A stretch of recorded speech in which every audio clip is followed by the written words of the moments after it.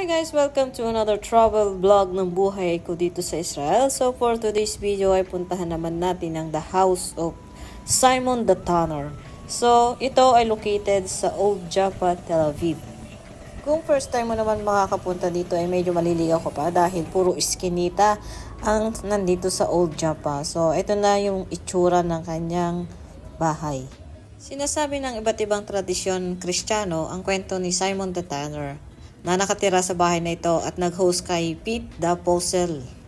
Dito binuhay ni Pedro ang tabita mula sa mga patay at nakita ang kanyang tanyag na pangitain kung saan inutusan siyang kumain ng mga hayop na itinuturing na marumi sa tradisyon ng mga Hudyo. Turing ni Pedro ang kanyang pangitain bilang banal na pahintulot na talikuran ng mga utos ng mga Hudyo at ipangaral ang Kristyanismo sa mga Hudyo at mga Pagano. Ito ay isang makasaysayang pagbabago kung saan ang Kristyanismo ay unti-unti nang umuunlad. They considered a esoteric sect ng Judaism into a worldwide religion.